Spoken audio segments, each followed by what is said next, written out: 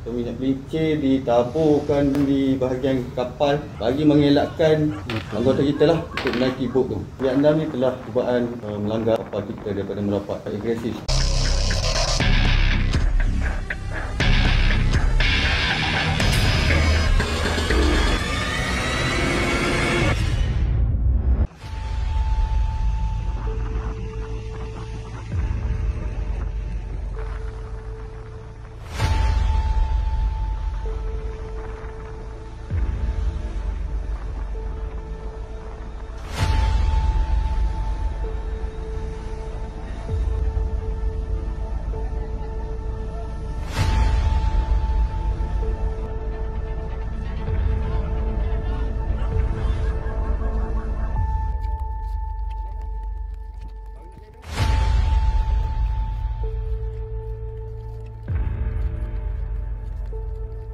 Merajah tu dia menyamar uh, seperti bot tempatan Kelantan dan bot tempatan Terengganu dengan menggunakan nombor pendaftaran palsu uh, tempatan juga.